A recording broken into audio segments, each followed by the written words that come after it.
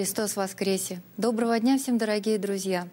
В гостях у программы «Есть что сказать» исполнительница духовных песен, православная певица Юлия Славянская.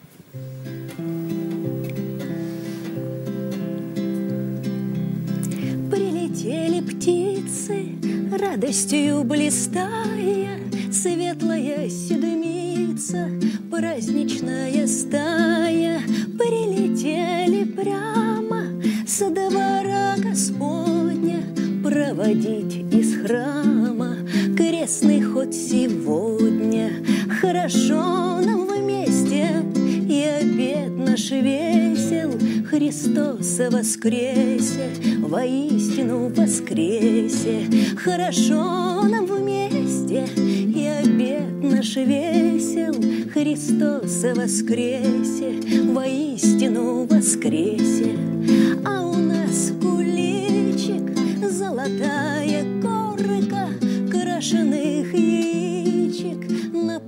подносе горка Молоко в крынке, пир, как в сказке А в доме не пылинки убрались к Пасхе Хорошо нам вместе, и обед наш весел. Христос воскресе, воистину воскресе. Хорошо Христос воскресе, воистину воскресе. Хорошо нам вместе, и обед наш весел. Христос воскресе, воистину воскресе. Христос воскресе! Воистину, с праздником. С праздником и спасибо вам за такой замечательный пасхальный подарок. Юль, спасибо. а вы помните вашу первую Пасху? Такую осознанную. Осознанную? Э, ну, это было уже, конечно, в таком возрасте, уже когда я была повзрослее. Э, жила в Сергиевом Посаде, э, в своем родном городе. Конечно, там Пасха всегда встречалась очень многолюдно, радостно на территории Троицы Сергиевой Лавры. Это действительно стоит побывать на, в Пасху именно вот в Сергиевом Посаде. Я не помню, как я отмечала, когда была маленькая. Вот честно вам скажу, как-то... Вот 9 мая у меня отложился праздник, потому что папа у меня а, офицер. А, и помню, что всегда ходили на парад с шариками, маршировали. Вот это у меня отложилось. Мы еще жили в военном городке закрытом. Это я отложила. А, это, это отложилось. А тогда Пасху в те года как-то не отмечали широко. Бабушки да? потихоньку луковой шелухой яйца-то все равно ну, красили. Яйца красили, да, но как-то вот так широко, как сейчас, может быть, да, наконец-то вот все-таки э, появилась возможность. Э, в сто лет как-то все это скрывалось и уничтожалось, а сейчас потихонечку все-таки как-то народ России начинает возрождаться. И наши родители пришли и приходят к вере. А бабушки э, тоже, которые еще остались живые, дедушки тоже, они, конечно, и тогда ходили в храмы, большинство из них. Может быть, там тайком э, ходили, тайком верили. Но, наверное, не все, может быть, э, прививали это своим детям. Я не знаю, может быть, из-за того, что боялись или как-то было, было это тяжело давалось, я не знаю.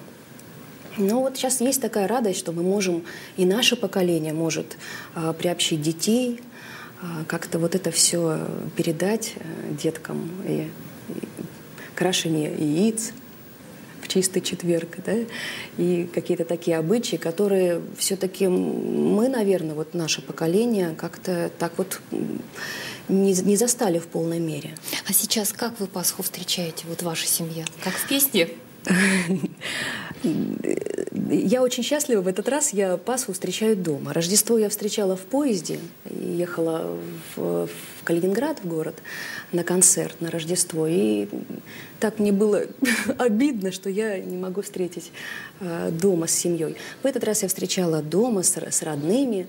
И Ночью, конечно же, ходила в храм, но дет, деточек э, не взяла с собой, потому что, ну, не знаю, может быть, я, конечно, неправильно сделала, но я люблю эту службу вот простоять, простоять так, чтобы вот насладиться, да, вот, вот, этой, э, вот этой красотой, вот этой благодатью, вот этой радостью, чтобы никто как бы не отвлекал.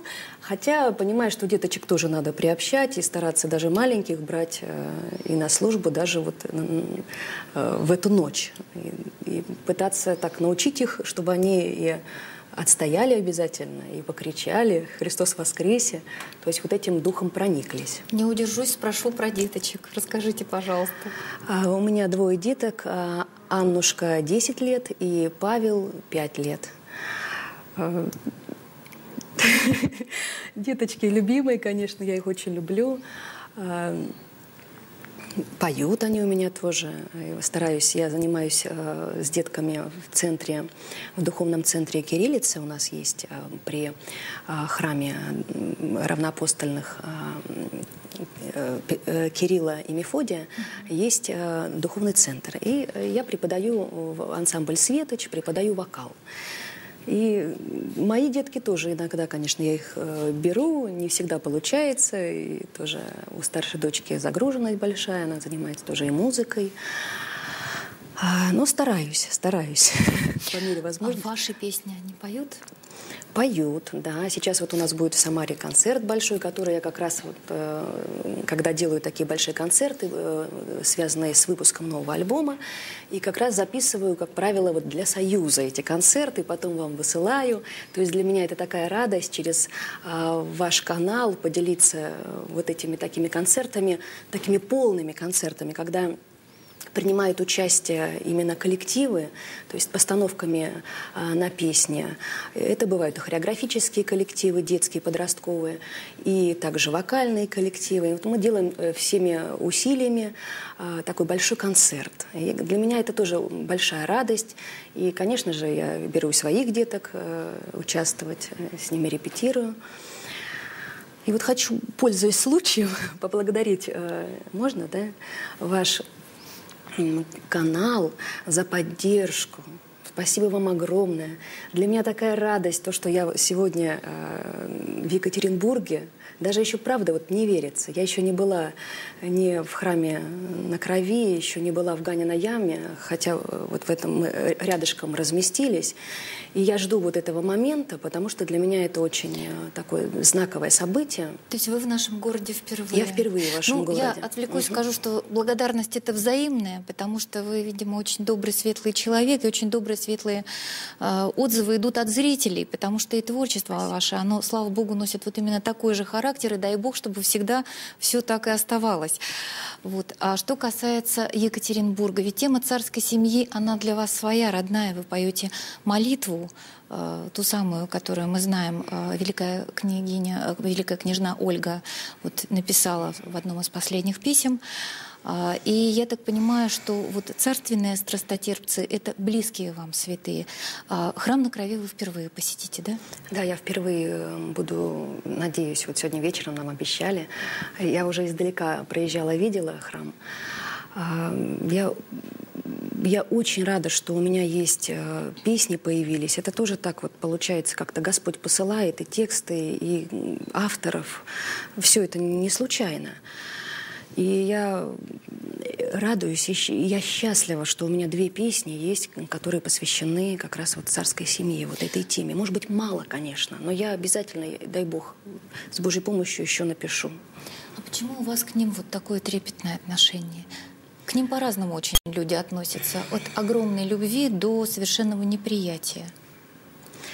Ну, вы знаете, я считаю, что вот все наши беды... Во-первых, я равняюсь на эту семью, и хотела бы, конечно, равняться, чтобы моя семья хоть бы хоть капельку походила на эту святую семью.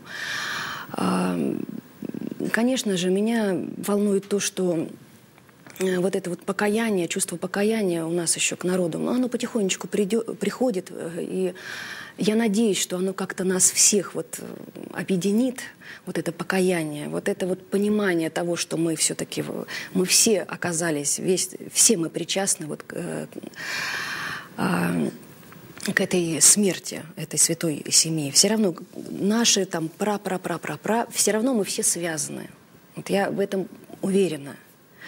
И э, дай Бог, может быть, наше поколение, наши дети вот это все осознают и как-то попросят прощения у Бога. И, может быть, как-то вот все вместе, если мы объединимся, и каждый со своей стороны вот это поймет и попросит прощения, и, может быть, что-то у нас в России сдвинется как-то, вот, понимаете. Потихонечку уже идут шажочки маленькие на, э, на возрождение. Я думаю, вы это тоже, наверное, чувствуете, да? По-разному. По-разному? Знаете, по-разному. По-разному. Что-то радует, а что-то очень сильно настораживает. Нельзя сказать, что так все прямо радужно. И, ну, тем не менее.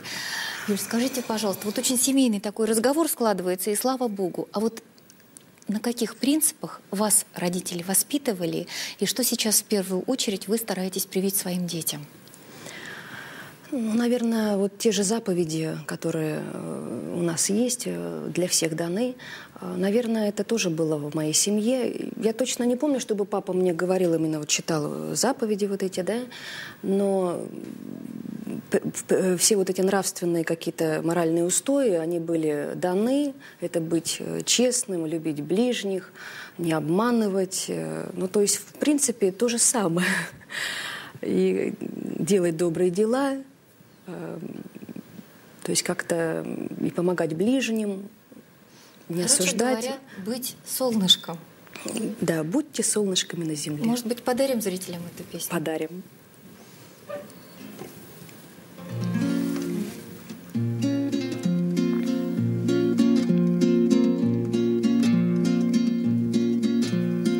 Будьте солнышками на земле, согревайте хоть тех, кто рядом, каждым мгновением жизни своей, словом, улыбкой, взглядом.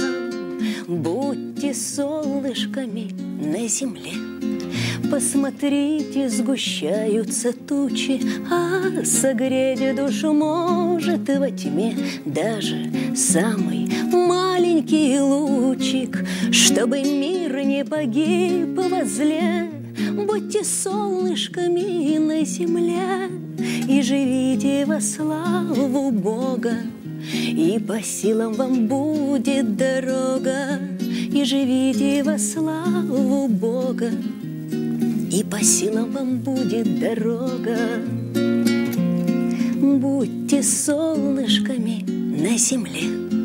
Согревайте хоть тех, кто рядом Каждым мгновением жизни своей Словом, улыбкой, взглядом Чтобы мир не погиб возле Будьте солнышками на земле живите во славу Бога И по силам вам будет дорога И живите во славу Бога и по силам вам будет дорога, И живите во славу Бога. И по силам вам будет дорога. Спасибо вам большое. Очень бесхитростные, непритязательные, но очень правильные слова и очень добрая песня. Спасибо. Спасибо Дорогие вам. друзья, наша программа подошла к концу. Спасибо за то, что вы были с нами. Оставайтесь с нами дальше. Эфир телеканала «Союз» продолжается. Христос воскресе!